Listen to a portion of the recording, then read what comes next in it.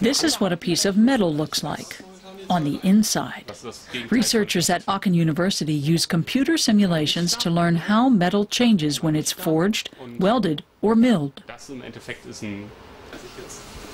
Lutz Schaap heads the research project. 20 institutes at the school are rethinking industrial production from the ground up.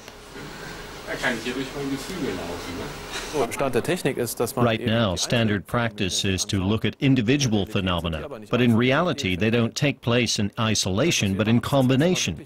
For the first time, we're examining them in combination to see what really happens. That knowledge is the foundation for production here in Germany 50 years from now, and also the foundation for future prosperity, considering that all the jobs depend on manufacturing.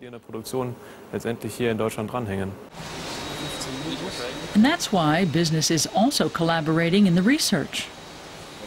For example, at the DST company. Here, some 500 workers turn out heavy machinery for power plant production.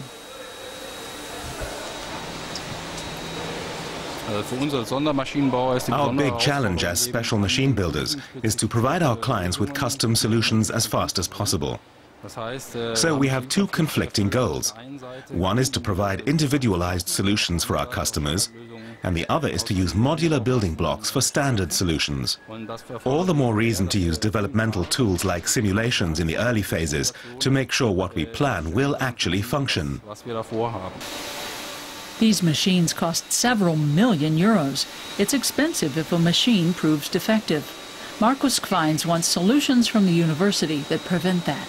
If I could have one wish granted, I'd want to motivate young people at colleges and here in our company so that we can make even better products.